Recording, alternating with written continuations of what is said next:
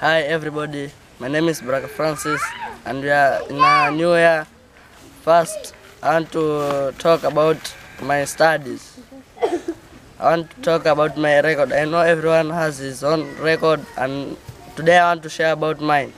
First, I want I'm in my last year and I want to perform well in my in my last exams of primary and and I want to get good uh, marks so that I go for good study.